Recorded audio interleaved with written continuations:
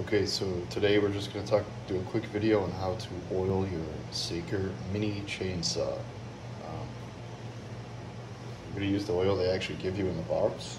I don't know what it is, but I'm gonna stick with that for now.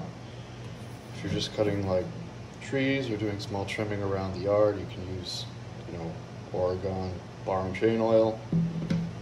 If you're cutting like fruit trees or whatever, you might want to use vegetable oil. So this is pretty easy. Just like the uh, Terran Z.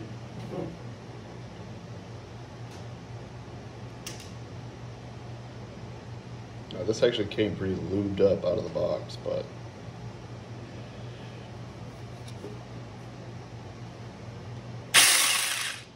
you just apply a little bit right here.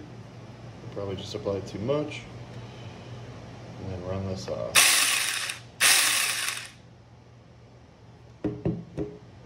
That's it.